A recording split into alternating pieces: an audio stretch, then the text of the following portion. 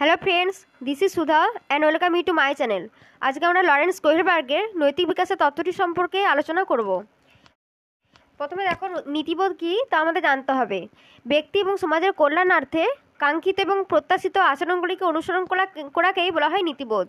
এবং কোহেরবার্গ নৈতিক বিকাশ সম্পর্কিত তার তত্ত্বটি প্রকাশ করেছেন। শিকাগো বিশ্ববিদ্যালয়ে তিনি ডক্টরেট ডিগ্রি অর্জনের পরেই তার নৈতিক বিকাশের তত্ত্বের সম্পর্কে গবেষণাপত্রটি দাখিল করেছিলেন। শিকাগো বিশ্ববিদ্যালয়ে তিনি ছয় বছর অধ্যাপনা করেছেন এবং তারপরে তিনি হার্ভার্ড বিশ্ববিদ্যালয় থেকে অধ্যাপনার জন্য আমন্ত্রিত হন, যেখানে তিনি আজীবন এই নৈতিক বিকাশের উপর গবেষণায় রত ছিলেন। তার এই নৈতিক বিকাশের উপর গবেষণাতে সহযোগী ছিলেন কলবি, গিবস এবং লিবারম্যান প্রমুখ তার মতে, নৈতিক বিকাশের ক্ষেত্রে প্রধান তিনটি উপাদান রয়েছে। এগুলি হলো জ্ঞানমূলক বিকাশ, জ্ঞানমূলক দ্বন্দ্ব এবং ভূমিকা গ্রহণ করার ক্ষমতা। কোহেলবার্গের মতে, জ্ঞানমূলক দ্বন্দ্বই হলো নৈতিক বিকাশের ক্ষেত্রে মূল নিয়ন্ত্রক বা সহায়ক। জ্ঞানমূলক দ্বন্দ্ব আসলে কি? যখন ব্যক্তির বিশ্বাসের সঙ্গে বাইরের পরিবেশের সংঘাত সৃষ্টি হয়, তখনই কিন্তু তার জ্ঞানমূলক দ্বন্দ্বের সৃষ্টি হয় এবং তার ফলেই নৈতিক বিকাশ হয়। যেমন আমরা জানি যে চুরি করা কিন্তু মহাপাপ, কিন্তু যখন কেউ অপরকে বাঁচানোর জন্য চুরি করে, তখন সেটা ভুল করেছে না ঠিক করছে। এই প্রশ্নটা যদি শিশুকে জিজ্ঞাসা করা হয়, তখন তার মধ্যে জ্ঞানমূলক দ্বন্দ্বের সৃষ্টি হয় এবং সেই জ্ঞানমূলক দ্বন্দ্ব থেকে নিজেকে বের করার জন্যই তার মধ্যে নৈতিক বিকাশ ঘটে থাকে। এবং অপরটি হলো ভূমিকা গ্রহণ করার ক্ষমতা, অর্থাৎ কোনো একটি পরিস্থিতিতে অন্যের মতামতকে গুরুত্ব দেওয়া, অন্যের মতন করে ভাবা এবং অন্যের মূল্যায়নকে মর্যাদা দেওয়ার নামই হলো ভূমিকা গ্রহণ করার ক্ষমতা। তাহলে তিনটি প্রধান উপাদান কি কি? জ্ঞানমূলক বিকাশ, জ্ঞানমূলক দ্বন্দ্ব এবং ভূমিকা গ্রহণ করার ক্ষমতা। কোহেলবাগ তার তত্ত্বের, তত্ত্বটির ক্ষেত্রে পিঁয়াজের থিওরিকে কিন্তু অনুসরণ করেছিলেন। কোহেলবার্গের মতে, নৈতিক বিকাশের উপর প্রাক্ষবিক বিকাশের নয়, প্রজ্ঞামূলক বিকাশের ভূমিকা রয়েছে। তার এই তত্ত্বটিকে বলা হয় জেন্ডার বায়াস থিওরি অর্থাৎ কোহেলবাগ যেহেতু তার এই তত্ত্বটি করার জন্য বালকদের উপরেই কেবলমাত্র পরীক্ষা করেছিলেন। তার জন্য এই তার তত্ত্বটি বালকদের উপরেই কিন্তু ভূমিকা রয়েছে, কিন্তু বালিকাদের ক্ষেত্রে নয়।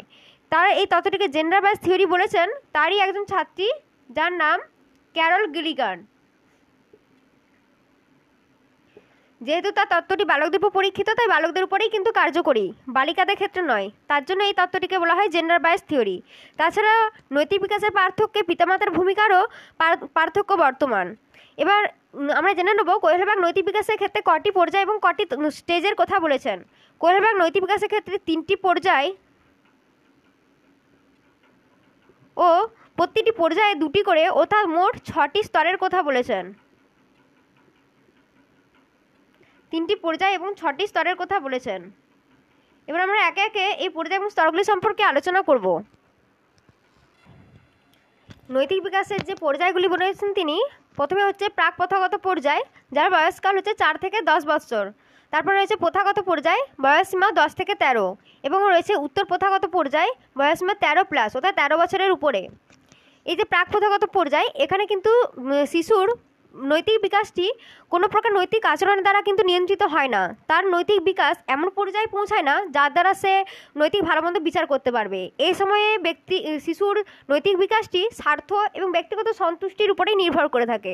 প্রাক প্রথাগত পর্যায়ে দুটি স্তর রয়েছে, প্রথম স্তর এবং দ্বিতীয় স্তর। প্রথম স্তরটি শাস্তি এবং পুরস্কারের দ্বারা নিয়ন্ত্রিত হয়, অর্থাৎ শাস্তি এড়ানোর জন্য কিন্তু শিশু ওই নির্দিষ্ট আচরণ করে থাকে। কেন যে সে ওই নৈতিক আচরণটি করবে, সেটি কিন্তু সে বিচার করে না।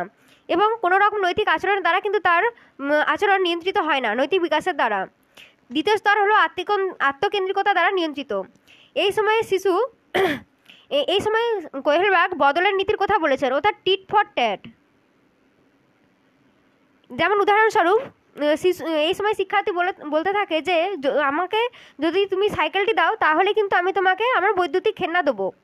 এই সময় শিক্ষার্থী ব্যক্তিগত স্বার্থ সন্তুষ্টির জন্যই ওই আচরণটি করে থাকে। অর্থাৎ এই সময় তার আত্মকেন্দ্রিকতা দেখা যায়। এরপরে রয়েছে প্রথাগত পর্যায় যার সময়সীমা দশ থেকে তেরো বছর। এই সময় শিক্ষার্থী ব্যক্তি এবং সমাজ উভয়ের নিকটে সমর্থন প্রত্যাশা করে। এই সময় সে যে শুধু সামাজিক নিয়মনীতি মেনে চলে তাই নয়, সামাজিক নিয়মনীতিকে সে কর্তব্য বলে মনে করে থাকে। এই প্রথাগত পর্যায়ে দুটি স্তর রয়েছে। তার মধ্যে রয়েছে তৃতীয় স্তর, যেটি হলো অন্যদের অনুমোদন দ্বারা স্বীকৃত। এই সময় শিক্ষার্থী ভালো ছেলে, ভালো মেয়ে ইত্যাদি শুনতে চায় আমরা তার সম্পর্কে কি ভাবছি, তার উপরেই সে তার নৈতিক আচরণকে বিচার করে।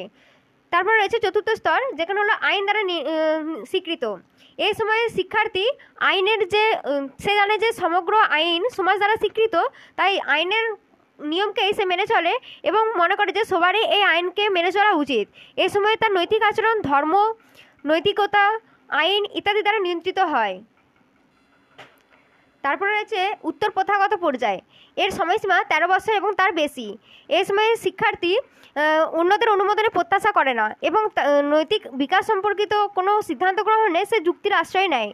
এই এই প্রথা, উত্তর প্রথাগত পর্যায়ের দুটি স্তর রয়েছে, পঞ্চম স্তর এবং ষষ্ঠ স্তর। এই পঞ্চম স্তর যুক্তি দ্বারা নিয়ন্ত্রিত। অর্থাৎ কোনো নৈতিক সিদ্ধান্ত গ্রহণের সময় সে অন্যদের অনুমোদনের প্রত্যাশা না করে যুক্তির আশ্রয় নেয় এবং আইনকে সামনে রেখেই সে এগিয়ে চলে, কারণ জানে যে আইন সমগ্র সমাজ দ্বারা স্বীকৃত।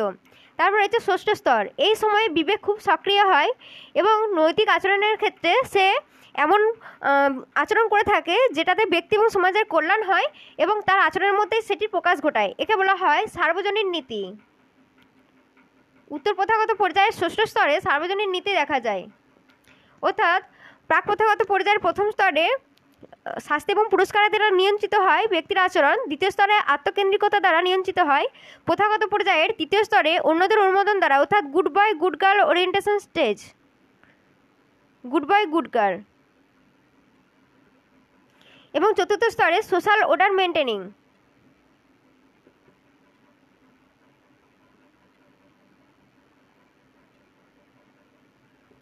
পঞ্চম স্তরটি সোশ্যাল কন্ট্যাক্ট ওরিয়েন্টেশন নামে পরিচিত।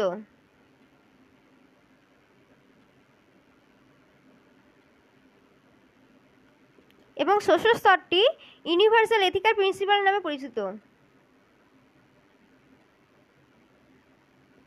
Universal ethical principal.